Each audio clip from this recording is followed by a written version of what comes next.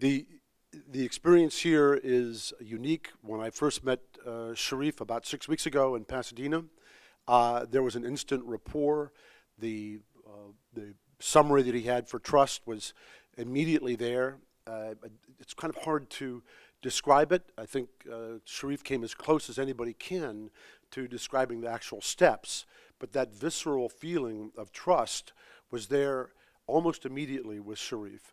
And I know I think a lot of us probably felt that from the very first almost moment that you uh, looked into the man's eyes, saw him talk, and had him describe what he uh, would uh, be willing to do for you, his generous spirit.